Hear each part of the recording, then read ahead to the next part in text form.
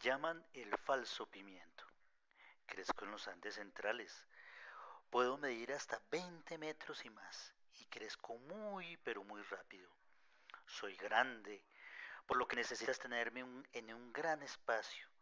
Mis flores son amarillentas, resisto a la falta de lluvia, produzco sombra que te deja pasar la brisa suavemente. Sin embargo, necesito que me riegues cada tres días y que me puedas abonar una vez al año. Ojalá con lo que más me gusta, los abonos orgánicos. Cuídame, estoy.